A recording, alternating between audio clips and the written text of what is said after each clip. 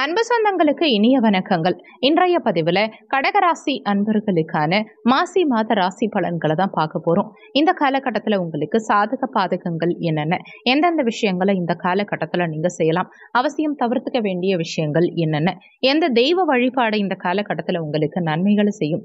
இது மாதிரியான தகவல்களை தெளிவாகவும் விரிவாகவும் பார்க்க போகிறோம் கொஞ்சம் கூட வீடியோவை ஸ்கிப் பண்ணாமல் முழுமையாக பார்க்க முயற்சி செய்யுங்க வாங்க வீடியோக்குள்ளே போகலாம் நமஸ்காரம். டிஆர்பி எக்ஸாம் எழுதுற டீச்சர்ஸ்க்கு முக்கியமான ஒரு இன்ஃபர்மேஷன் எங்க கிட்ட தரமான ஏற்கனவே டிஆர்பி எக்ஸாம்ல பாஸ் பண்ண நோட்ஸ் பெஸ்டான நோட்ஸ் இருக்கு. டிஆர்பி ஜுவாலஜி நோட்ஸ் இருக்கு. ஆல் சிலபஸ்மே கவர் ஆயிருக்கு.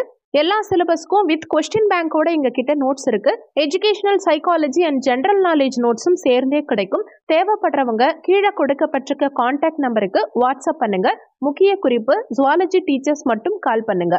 இந்த மாதத்துல கிரகங்களின் சஞ்சாரத்தை பார்க்கும்போது மேஷ வீட்டுல குரு பகவானும் கன்னி வீட்டுல கேது பகவானும் மகர வீட்டுல மூன்று கிரகங்கள் இணைந்திருக்காங்க. செவ்வாய் சுக்கரன் புதன். கும்ப வீட்டுல சூரியனும் சனி பகவானும் இணைந்திருக்காங்க. மீன வீட்டில் ராகு பகவானும் இந்த மாசி மாதத்தினுடைய முதல் நாளில் சந்திரன் மனோகாரகனான சந்திரன் மீன வீட்டிலையும் சஞ்சாரம் செய்ய போறாங்க. இந்த மாதத்துல இரண்டு கிரக பெயர்ச்சி நடக்க இருக்கு. வரக்கூடிய மாசி மாதம் எட்டாம் தேதி அதாவது பிப்ரவரி இருபதாம் தேதி அன்னைக்கு புதன் மகர வீட்டிலிருந்து கும்ப வீட்டுக்கு பயிற்சியாக போறார். அடுத்து மாசி இருபத்தி நான்காம் தேதி மார்ச் ஏழாம் தேதி அன்னைக்கு புதன் கும்ப வீட்டிலிருந்து மீன வீட்டுக்கு பயிற்சியாக போறார். மாசி இருபத்தி நான்காம் தேதி அதாவது மார்ச் ஏழாம் தேதி அன்னைக்கு சுக்கரன் மகர வீட்டிலிருந்து கும்ப வீட்டுக்கு பயிற்சியாக போறார். கடகராசியை பொறுத்த வரைக்கும் புனர்பூசம் நான்காம் பாதம் பூசம் ஒன்று இரண்டு மூன்று நான்காம் பாதங்கள். ஆயில்யம் ஒன்று இரண்டு மூன்று நான்காம் பாதங்களை உள்ளடக்கியது. கடகராசி. கடகராசிக்கு அதிபதி சந்திர பகவான். வீடியோல சொல்லக்கூடிய பலன்கள் கடகராசி மற்றும் கடக லக்னக்காரங்களுக்கும் ஆண் பெண் இருப்பாளருக்கும் பொருந்தக்கூடிய பலன்கள். கடகராசி அன்பர்களுக்கு இந்த மாசி மாதத்துல தொழில் ஸ்தானாதிபதியான அந்த செவ்வாய் பகவான் இந்த மாதத்துல உச்ச பலத்தோட வலிமையா இருக்கார். கடக ராசி மற்றும் கடக லக்னத்துக்கு யோகாதிபதியான அந்த செவ்வாய் பகவான் கோணத்துக்கும் கேந்திரஸ்தானத்துக்கும் அதிபதியா இருக்கக்கூடிய ஐந்தாம் இடத்துக்கும் பத்தாம் இடத்துக்கும் அதிபதியா இருக்கக்கூடிய செவ்வாய் பகவான் உச்ச பலம் பெற்று வலிமையா இருக்கார். அதாவது ஒன்றரை ஆண்டுகளுக்கு பிறகு பத்தாம் அதிபதியா இருக்கக்கூடிய செவ்வாய் உச்ச பலத்தோட இருக்கும். இந்த மாதத்துல தொழில் சார்ந்த விஷயத்துல நற்பலன்கள் அதிகம் கிடைக்கும். அந்த செவ்வாய் பகவான் தன்னுடைய நான்காம் பார்வையா பத்தாம் இடத்தை பார்க்கிறது கூடுதல் சிறப்பை உண்டாக்கும். அதுவும் ஒன்பதுக்குரியவர். பாக்கியாதிபதி குருவும் பத்தாம் இடத்துல இருக்கார். குரு பத்துல இருக்கும்போது சில மாற்றங்களை கொடுக்கும். அப்போ உங்களுக்கு எந்த மாற்றம் வந்தாலுமே அதை ஏத்துக்கிறது சிறப்பு. வரக்கூடிய எந்த மாற்றமா இருந்தாலும் உங்களுக்கு நல்ல மாற்றமா தான் இருக்கும். கடந்த சில மாதங்களா ஏதோ ஒரு விஷயத்தினால வேலை போயிடுச்சு. இல்லைன்னா இருக்கிற வேலை உங்களுக்கு பெஸ்டா அமையல சிறப்பா இருக்கல. புதிய வேலை தேடிட்டு இருக்கீங்க அப்படின்னா இல்லை உங்கள் படிப்புக்கேற்ற வேலை இல்லாமல் ஏதோ ஒரு வேலை பார்த்துட்டு இருக்கீங்க படிப்புக்கேற்ற சம்பளம் உங்கள் வேலைக்கேற்ற சம்பளம் இல்லை அப்படிங்கிறவங்களுக்கெல்லாம் இந்த காலகட்டத்தில் சாதகமான பலன்கள் கிடைக்கும். நீங்கள் நினச்ச மாதிரி ஒரு நல்ல வேலை கிடைக்கிறதுக்கான அமைப்புகள் உண்டு. ஏன்னா பத்தாம் அதிபதி உச்சபலம் பெற்றிருக்கும் காரணத்தினால நிறைய சாதக பலன்கள் கிடைக்கும். அதே மாதிரி இதுவரைக்கும் மேலதிகாரிகள் உங்களை புரிஞ்சுக்கல. ஏதோ தொந்தரவு கொடுத்துக்கிட்டே இருக்காங்க அப்படின்னா இப்போ மேலதிகாரிகள் உங்களை புரிஞ்சுப்பாங்க. உங்களுக்கு அடிஷ்னல் ரெஸ்பான்சிபிலிட்டிஸ் கிடைக்கும் இந்த காலகட்டத்தில். அடிஷ்னல் ரெஸ்பான்சிபிலிட்டிஸ் கிடைக்கிறதுனால இந்த காலகட்டத்தில் உங்களுக்கு பொறுப்புகள் கூடும். ஸோ வேலை பலு சற்று அதிகரித்து இருக்கும் அந்த செவ்வாய் உங்க ராசியையும் பார்க்குறார். அப்போ ஆக்ரோஷம் கோபம்ங்கிறது இந்த மாதத்துல இயல்பாவே உங்களுக்கு இருக்கும். அதனால முடிஞ்ச வரைக்கும் கோபம் ஆக்ரோஷத்தை கண்ட்ரோல் பண்ணிக்கணுங்கிறதையும் மனசுல வச்சுக்கோங்க. சனியும் சூரியனும் இணைவு பெற்று அஷ்டமஸ்தானத்துல உட்கார்ந்துருக்கார். அஷ்டமத்து சனி உங்களுக்கு ஆல்ரெடி நடந்துட்டு இருக்கு அப்போ டென்ஷன் ப்ரெஷர் கொஞ்சம் உங்களுக்கு கொடுத்துக்கிட்டு தான் இருக்கும். அதுலேயும் பகை கிரகமான சூரியன் சேர்க்கை பெற்றிருக்கும் காரணத்தினால அவர் உங்களுக்கு தனாதிபதியா இருக்கும் காரணத்தினால அந்த சூரியன் அதிகாரம் சார்ந்த காரகங்கிறதுனால கொஞ்சம் நிதானமா இருக்கணும் பேச்சில் நிதானத்தை கடைபிடிக்கணும். அதிகாரமான போக்க மற்றவங்க மேல திணிக்க கூடாதுங்கிறத மனசுல வச்சுக்கோங்க. அவசரப்பட்டு ஆக்ரோஷப்பட்டு கோபப்பட்டு வேலையை மட்டும் விட்டுடக்கூடாதுங்கிறதையும் மனசுல வச்சுக்கோங்க. ஏன்னா ஆல்ரெடி அஷ்டமத்து சனியா இருக்கும் காரணத்தினால திடீர்னு ஏதாவது ஒரு பிரச்சனை காரணமா வேகத்துல நீங்க ஈகோனாலேயோ வேகத்தினாலேயோ உங்கள் வேலையை விட்டுட்டீங்க அப்படின்னா திரும்ப வேலை கிடைக்கிறது கொஞ்சம் கஷ்டமாக இருக்கும். அதனால் வேலை மாறணும்னு நினச்சிங்கன்னா கூட புதிய ஒரு வேலை அமைச்சுக்கிட்டு அதுக்கப்புறமா இருக்கும் வேலையை மாற்றிக்கிறது தான் உங்களுக்கு சிறப்புங்கிறத மனசில் வச்சுக்கோங்க. பத்தாம் அதிபதியான அந்த செவ்வாயும் லாபஸ்தானம் பதினோராம் பாவகாதிபதியான அந்த சுக்கரனும் இணைந்து உங்கள் கலத்திரஸ்தானம் ஏழாம் இடத்துல உட்கார்ந்துருக்காங்க.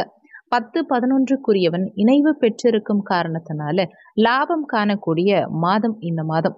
அப்போ எந்த அளவுக்கு நீங்க உழைக்கிறீங்களோ அந்த உழைப்புக்கேற்ற லாபம்ங்கிறது நிச்சயம் உங்களுக்கு இருக்கும். ஏன்னா செவ்வாயும் சுக்கரனும் உங்க ராசியை பார்க்கும் காரணத்தினாலையும் அந்த ராசிநாதனான சந்திரன் இந்த மாசி மாத முதல் தேதியிலேயே பாக்கியஸ்தானத்துல இருக்கும் காரணத்தினால நீங்க என்ன நினைக்கிறீங்களோ அதை சாதிக்கக்கூடிய மாதமா உங்களுக்கு இருக்கும். பெரியோர்களுடைய தொடர்புகளை ஏற்படுத்தும் இந்த காலகட்டத்துல. செவ்வாய் உங்கள் ராசியை பார்க்குறார். யோகாதிபதி உங்கள் ராசியை பார்க்குறார். லாபஸ்தானமான லாபஸ்தானாதிபதியோட இணைந்து பார்க்குறார்.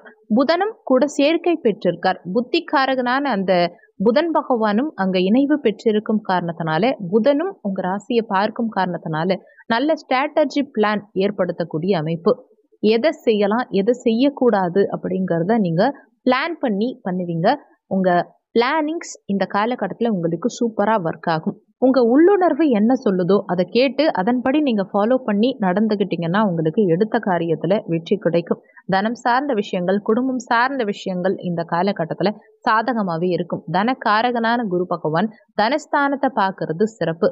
அப்போ தனம் உங்களுக்கு ஏதாவது ஒரு ரூபத்துல குடும்பத்துக்கு வந்துகிட்டே இருக்குங்கிறது தான் உண்மை. ஆனாலும் அந்த சனி பகவானுடைய பார்வை அந்த குடும்பஸ்தானத்தின் மீது பதியுது. அதே மாதிரி தனாதிபதியான சூரிய பகவானுடைய பார்வையும் அந்த தனஸ்தானத்தின் மீது பதியும் காரணத்தினால தனம் இதுவரைக்கும் தன வருமானத்தை உங்க பணத்தை எங்கேயாவது கொடுத்து வச்சிருந்தீங்க. அந்த பணம் திரும்ப வராம தடங்களா இருக்கு லாக் ஆயிருக்கு பணம் வராம இருக்கு அப்படின்னா இந்த காலகட்டத்தில் உங்களுக்கு தன வருமானம் பெருகக்கூடிய அமைப்பு உண்டாகும். நீங்க கொடுத்த பணம் திரும்ப கிடைக்கிறதுக்கான அமைப்புகள் உண்டு. ரொம்ப நாளா பணம் வருமானத்துல தடங்கள் இருந்தது. உங்க பணமும் கொடுத்து வச்சுட்டு வராம இருந்ததுன்னா அந்த- அந்த தடங்கல்கள் அகன்று அந்த பணம் உங்க கைக்கு வந்து சேரக்கூடிய அமைப்பு உண்டாகும். அடுத்து சனி பகவானுடைய பார்வையும் அங்க படும் காரணத்தினால தனத்தை கையாளக்கூடிய விஷயத்துல கவனம் எச்சரிக்கைங்கிறது உங்களுக்கு தேவைப்படும். உங்க பணத்தை முறையா கையாள பாருங்க. முன்பின் தெரியாதவங்க கிட்ட பணத்தை கொடுக்கறது ஒரு தொழிலை ஆரம்பிக்கிறது இல்ல எங்கேயாவது இன்வெஸ்ட்மெண்ட் பண்றேன் இந்த மாதிரியான விஷயங்கள்ல ஈடுபடாம இருக்கிறது இந்த காலகட்டத்துல உங்களுக்கு நல்லது. அதே மாதிரி கொடுக்கல் வாங்கல் சார்ந்த விஷயத்திலையும் கூடுதல் கவனத்தோடையும் நிதானத்தோடையும் செயல்படுறது இந்த காலகட்டத்துல உங்களுக்கு நல்லது. அடுத்து குடும்பம் சார்ந்த விஷயத்துல கொஞ்சம் விட்டு கொடுத்து போகணும். ஏன்னா அஷ்டமத்து சனி ஏற்கனவே நடந்துகிட்டு இருக்கிறதுனால ஏதாவது ஒரு தொல்லை குடும்பம் சார்ந்த விஷயத்திலையும் உண்டாகி மன உளைச்சலை உண்டாக்கும். அதனால கணவன் மனைவி சார்ந்த விஷயத்துல கொஞ்சம் விட்டு கொடுத்து அனுசரணையோட நடந்துக்கணுங்கிறத ஞாபகத்துல வச்சுக்கோங்க. தொழிலாவோ அல்லது குடும்பம் சார்ந்த விஷயத்திலையோ அல்லது மனம் சார்ந்த விஷயத்திலையோ பணம் சார்ந்த விஷயத்திலையோ ஏதாவது ஒரு விஷயத்துல உங்களுக்கு குழப்ப நிலையை உண்டாக்கும். இந்த அஷ்டமத்து சனி அதை மனசுல வச்சுக்கிட்டு அதுக்கு தகுந்த மாதிரி செயல் திட்டம் தீட்டி நீங்க எந்த விஷயத்தையும் மேற்கொள்ளணுங்கிறத மனசுல வச்சுக்கோங்க. கேது பகவான் மூன்றாம் பாவகமான முயற்சி ஸ்தானம் தைரிய வீரிய ஸ்தானம் இளைய சகோதர ஸ்தானம் உபஜயஸ்தானத்துல இருக்கிறது. நற்பலன்களை உண்டாக்கும். அதுவும் புதனுடைய வீட்டிலேயே கேது இருக்கிறது விசேஷம். ஞானக்காரகனான அந்த கேது பகவான் புத்திக்காரகனான புதனுடைய வீட்டுல உட்கார்ந்து இருக்கிறது உங்களுக்கு உள்ளுணர்வை கொடுக்கும். உங்க உள் மனசு என்ன சொல்லுதோ அதன்படி எந்த விஷயத்தையும் செய்யறது இந்த காலகட்டத்துல உங்களுக்கு சிறப்பு. கர்ம தொழில் ஸ்தானத்துல இருந்து குரு பகவான் சுகஸ்தானத்தை தன்னுடைய ஏழாம் பார்வையா பார்க்கும் காரணத்தினால தாய் வர்க்கம் சார்ந்த விஷயத்துல இதிலெல்லாம் கூடுதல் கவனம் செலுத்துறது நல்லது. தாயோடைய உடல் நலத்துல சற்று கவனம் எடுத்துக்கிறது இந்த காலகட்டத்துல உங்களுக்கு நல்லது. பாக பிரிவினை சொத்து சம்பந்தப்பட்ட பிரச்சனைகள் இது மாதிரியான விஷயங்கள்ல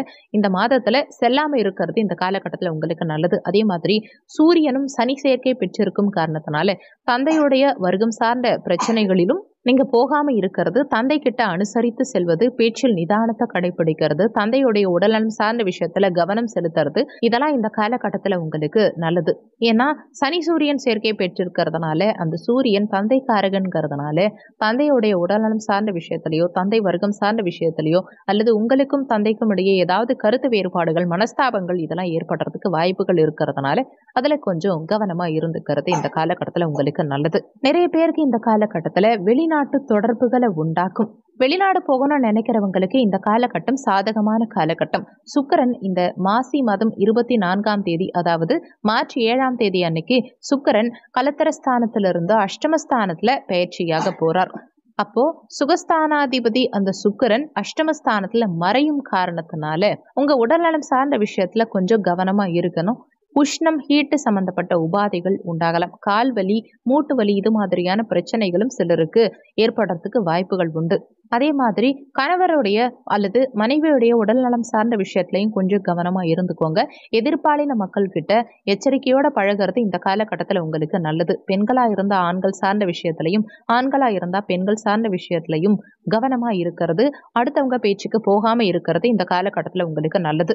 நான்குக்குரியவன் அஷ்டமஸ்தானத்தில் இருக்கிறதுனால எட்டில் மறைஞ்சிருக்கிறதுனால வண்டி வாகனம் சார்ந்த விஷயத்தில் கவனமாக இருக்கணும். அதே மாதிரி பயணங்கள் மேற்கொள்ளும் சமயத்திலையும் நிதானம் கவனம் தேவைப்படும். வண்டி வாகனங்களை இயக்கும் போது கூடுதல் கவனம் தேவைப்படும். அஷ்டமத்து சனி நடக்கும் காரணத்தினால எல்லோருக்கும் பெரிய பிரச்சனை ஏற்படாது. உங்க சுய ஜாதகத்துல நல்ல தசாபுத்தி நடக்குது அப்படின்னா உங்களுக்கு பெரிய பாதிப்போ தாக்கமோ எதுவும் இருக்காது. ஆனாலும் இந்த கடகராசி அன்பர்கள் யாருக்கெல்லாம் உங்க சுயஜாதகத்துல சனி தசாவோ சனி புத்தியோ நடக்குதோ அல்லது குரு தசா குரு புத்தி நடக்குதோ அல்லது புதன் தசா நடக்குதோ இவங்க எல்லாமே அல்லது ராகு தசா நடக்கிறவங்கெல்லாம் கொஞ்சம் எச்சரிக்கையோட இருந்துக்கிறது இந்த காலகட்டத்தில் உங்களுக்கு நல்லது. இந்த மாதம் சிறப்பாமைய நீங்கள் செய்ய வேண்டிய தெய்வ வழிபாடு என்னென்னு பார்த்தீங்கன்னா கடகராசி அன்பர்களுக்கு ஒவ்வொரு சனிக்கிழமை அன்னைக்கும் ஆஞ்சநேயர் வழிபாடு செய்யறது மூலமாகவும் விநாயக பெருமான் வழிபாடு செய்யறது மூலமாகவும் உங்களுக்கு இருந்த பிரச்சனைகள் தொந்தரவுகள் குறையும். இந்த வீடியோவில் உங்களுக்கு ஏதாவது சந்தேகம் இருந்தால் கீழே இருக்க கமெண்ட் செக்ஷனில் சொல்லுங்க. நன்றி. மற்றும் ஒரு நல்ல பதிவோடு மீண்டும் உங்களை சந்திக்கிறோம்.